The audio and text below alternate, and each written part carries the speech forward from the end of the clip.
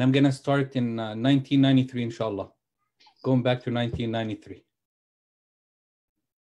What was it that led your heart, inshallah, to the to the religion of Islam and to Allah subhanahu wa ta'ala's path and road?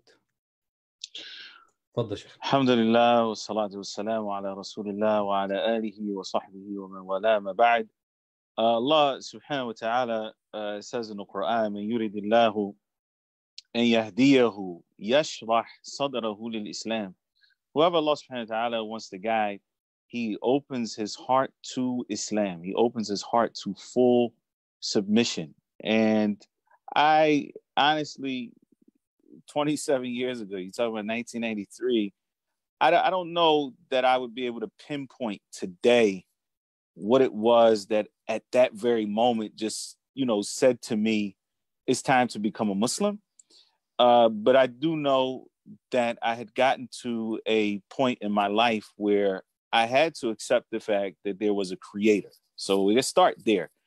Um, and you know because prior to that i guess i toyed with the idea of atheism um, you know there was a period that i went through when i considered myself to be an atheist uh, though as i kind of look back on it i don't really think that i was convinced um, that there wasn't a god but i wasn't convinced that there was a god. So i was probably stuck in some form of uh, uh, being some kind of agnostic if you will.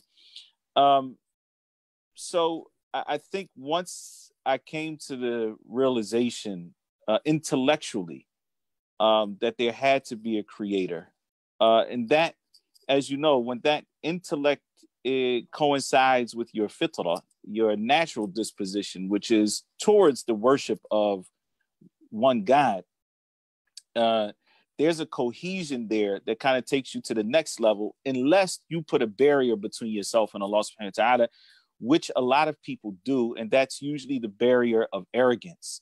Um, and hmm. so mm. they allow their pride, their pride in who their ancestors are, for example. I, you know, I, how many people I've come across that just say, well, you know, I believe what you're saying, but my whole family is Christian. I, I can't, I hmm. can't leave off, you know, that way. That's part of, that's part of their identity, right? Um, and so they almost have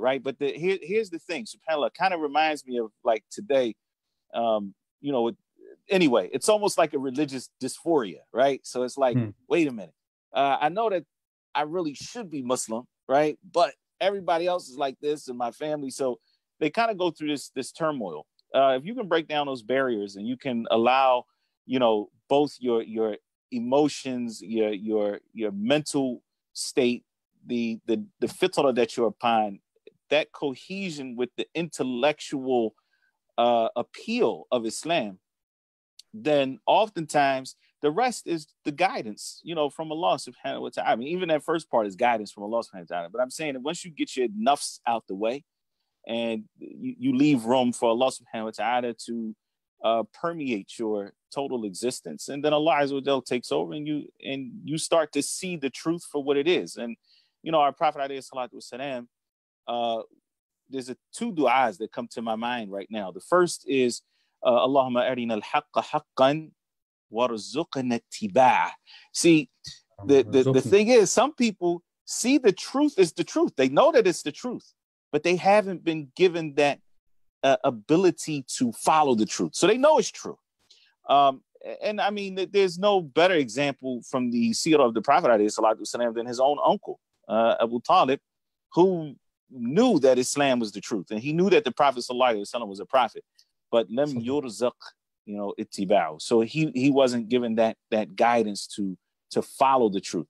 And then the other mm one is the uh, hadith of the Prophet ﷺ, where part of the dua is wahdini wa yassir al guide me and make guidance easy for me. So some people they know that this is guidance, but the guidance hasn't been made easy for them. So to kind of be, get back to your question, uh, again, it'd be very difficult for me to to to pinpoint exactly what it was, but I, I will tell you, I know the process that I went through. The first part of the process was accepting the fact that there's a creator and just saying, wait a minute. That that yeah, in other words, that this creation these things that exist could not have come from nothing. You know, even if we trace it back and we say matter and energy, and you know, we start talking about a big bang and all, even with that, something had to be there to bang, right? So logically, there had to be a beginning, you know, so there had to be a creator. Um, I mean, that was the process I was going through at the time. And then uh, after that, the acceptance of the fact that life must have a purpose uh, and that the creator has to communicate that purpose to his creation and that is communicated through revelation uh, which was brought by prophets so going mm-hmm. through that process even though i was young at the time um, i felt like i had lived you know certain aspects of life that uh, a lot of older people hadn't probably lived yet and I thought that at that point, I just said, you know what, it's time to stop playing games. You know, subhanAllah, this is this is what it is. And I woke up one morning and I said, you know what? That's it. Today I'm going to become a Muslim. Um, and that's what happened back in December of 1983. Is that why you, you chose to study Aqidah in, in, in Medina? Was that the lead to focus more on Aqidah than? But I wanted to ask a question before that. So I, so I don't forget the question. Inshallah, I'll keep it in mind.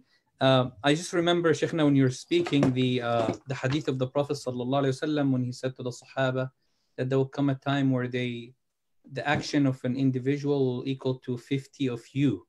قال يا رسول الله منا أم منهم قال إنكم تجدون على الخير أعوانا. Was this the case at your time? How do you see uh, people accepting Islam now and back then? Where did you have enough support at that time, or you think now, Alhamdulillah, it is better. Mm. Not the quantity. I'm talking about the quality of acceptance, you know? Well, it's really hard to say, Ahmad, because we've gone through many stages since uh, since that time, right? Um, I, I would I would definitely say this: Islam was nowhere near as prominent then as it is now. Um, so we have a lot more masajid now. We have a lot more Islamic centers, and I'm talking about big ones, right? We have mm-hmm. a lot more. Obviously, the, the information is a lot more. I mean, we, we're we're on information overload. Um, that just did not exist back then. Um, and uh, obviously, the world has changed. I mean, I mean, 1983, we were not using the internet yet. I'm not saying that well, maybe email became a little bit more prominent, probably 95, 96. But even then, it still wasn't like, it wasn't like a prominent thing. And not, you know, everybody just had internet and, you know, there obviously was no social media then and so forth. So it was a different time period. I think that the, uh, and it would be difficult for me to say that the quality of Muslim was better then. I, I, I don't uh, that would be unfair to say, but we definitely were more strange. Um, and so the the the the the ghurba, you know, tuba lil ghurba, like the Prophet mm. saying, give no. glad tidings to the strangers. You know, it was very odd to be a Muslim at that time, and um, and I'm saying right now we feel like it's odd in certain places that you might go um, in the United States. You know, it's more Islam is more prevalent in larger cities. That you know people know that you're a Muslim, but you know back then it was it was a little bit different, man. Um, and we just didn't have the numbers. Now, so you go through a time period, and then you then 9/11 hits, right? 9/11 hmm. was a generational game changer um, because for some people who were very proud to be Muslim before 9 11, they became prouder after 9 11. Um, mm-hmm. you know, there, there, was no hiding. I'm not going into hiding now. No, as a matter of fact, I didn't used to wear a kufi. Uh, now I'm to wear a kufi. I want everybody to know I'm Muslim, and I want you to try me, see what happens, because mm-hmm. we're not going out like that. You know, I'm not going to hide because you think I'm a terrorist, right? Um, there were some Muslims that were like that. There were other Muslims that said, "Wait a minute, this is a bit much." Um, and and it, it, geographically, obviously, it changes from place to place, and um, you know, there's no harm. I mean, there's several things that have happened even since 9/11 that have, you know, made us recognize that Muslims are targets, and you don't just want to be out there being a target. But the whole point is, that um, that that was a generational game changer. But um, uh, you know, the, despite the the negative aspects of that um, attack, uh, it did make Islam, it did put Islam in the spotlight, right? So it hmm. gave Muslims the opportunity to say, wait a minute, that's not what we stand for. This is what Islam really is. And, you know, people who would attack uh, innocent civilians and so forth, that doesn't have anything to do with our deen. So it put some people on the defensive, but even being on the defensive, there was still attention that was being given, right? Um, and so, so it, it did change the game in in that sense, and it put Islam in a in a in a in a spotlight. Not necessarily, obviously, in the beginning, it definitely wasn't good. Um, but as time went on, uh, more people began to hear about Islam, and then they would read about Islam, and then they would go try to meet some Muslims, and Muslims became more proactive and getting and getting the message out and trying to meet their neighbors and so on and so forth. So, um, your original question was what? Run that back behind me, Amar. Yeah, yeah, I'm, I'm, I'm enjoying now. I'm enjoying. No, the, but what was, what was the, the original question? Because like, was, you, you just... was it, was the, the the brothers at that time or the brotherhood of Muslims at that time, uh, the the feeling of it like when you first become religious or when you first start oh, joining, was it okay. different feeling than now being, you know, alhamdulillah, we have more Muslims, we have more masajid, but I'm I'm sure it's not that the same connection. Well, no, no, no, no. I, I would I would say one of the major major differences that I re- I can distinctly recall from that time um, was was the spirit of connectedness, the spirit of sacrifice. Yes. Um, that's my, that I have found to kind of dissipate. And I'm not saying that people don't sacrifice now; they don't sacrifice their wealth, you know, to build the masajid and so forth. But back then it was different. It was it, yes. it was different. That was ingrained in us. That and, and it probably was because our numbers were smaller. Now we've got more numbers and many hands make light work. And, you know, for, you know, massive fundraisers, this person give this and this person give that. But back then it was like, it was just this little group, you know, and everybody had to really dig deep, you know, um, you know, women had to take off their jewelry, literally, you know, for mm-hmm. fundraisers, mm-hmm. um, because we needed everything that we could get, you know, to to support the houses of Allah.